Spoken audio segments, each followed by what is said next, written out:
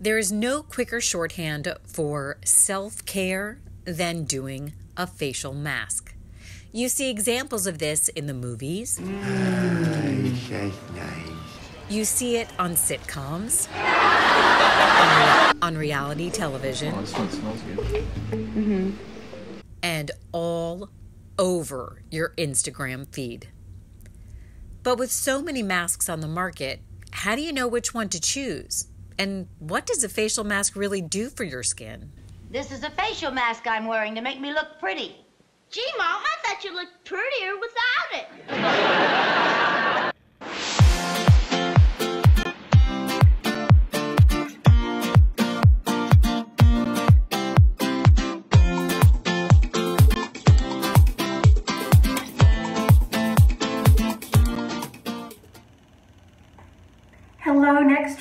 I'm Cheryl Kramer Kaye, and welcome to my bathroom.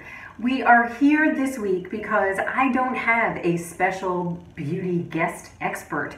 Everybody in New York City is at the beach right now, except for me, apparently. So today we're going to talk about facial masks. They are certainly ubiquitous, but why do you want one? And the answer is a mask is something that's designed to give your skin a boost in whatever way you need. So if you are oily, it can remove those excess oils. If you are dry, it will give you hydration. If you are tired, it can give you luminosity. I am right now oily, dry, and tired, so I could use a mask. However, I want to make it perfectly clear right up front that I don't think a mask is a must. It's a pleasure, it's a pampering experience, and it will indeed give you a boost, but it's not going to have long lasting effects. This is often that classic clay mask. Clay is a great ingredient for a purifying mask because clays act almost like magnets and they draw out the dirt, the oil, the impurities from your skin. Some of the other terrific ingredients that you will find in a purifying mask are charcoal. Charcoal again acts in a very similar way to clay. It draws out those impurities. And you also want to look for things that have anti-acne or anti-oil ingredients like tea tree oil or salicylic acid or willow bark extract, which is a form of salicylic acid. So the one on my face right now is the Emma Hardie, oh my God, it's got all the names. Purifying Detox Clay Mask. This pretty much says everything you need. Um, it's also going to smell really wonderful because Emma Hardie is a British esthetician and everything she makes smells wonderful and it's also a clean green product. Um, the next mask I would recommend is Olay Pore Detox. This is their black charcoal, and this you can just draw it on wherever you want it. Hmm, look like a football player. And this one from the body shop, it gives you, it has tea tree in it, and it lets you have a little bit of that DIY moment. So it has, um, it has this powder that you mix with water and you create your own mask. Now you will notice that I had initially only put the mask right here, across my forehead, down my nose, and on my chin. This is known as the T-zone. It forms a T, and that's where most people tend to hold their oil. Hey, so just a light layer? Yeah, just here and there.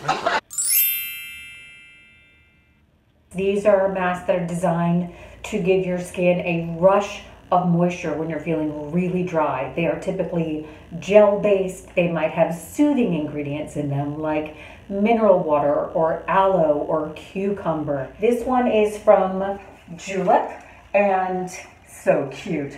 Um, but here's the thing I have to put these on because it's very hard to read the label. Um, it has glycerin. This is the Vichy mineral mask.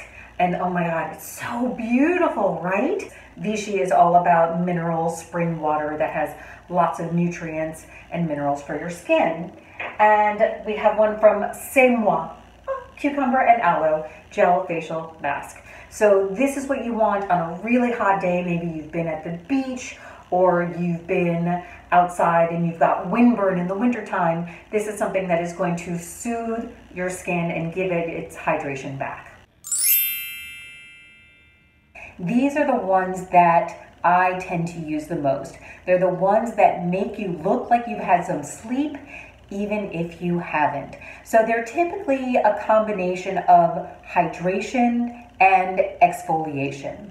Um, the one that I am using actually does its brightening in a somewhat different way. This is the Tula Kefir mask. You can see it has a little bit of that like, hmm, hmm, unicorn effect. It has like a little radiance, iridescence to the mask itself. So when you take it off, you leave a little bit on and you still get that radiant boost. Next is La Puerta Essentials. If you watch my Rancho La Puerta facials video, you would know that this is my happy place, Rancho La Puerta, and this mask is divine. It uses pomegranate enzymes to exfoliate off the surface skin cells that are dead and make your skin look dull. And this is the mask that all of the celebrities use before they hit the red carpet. This is the Talika Bioenzymes Brightening Mask.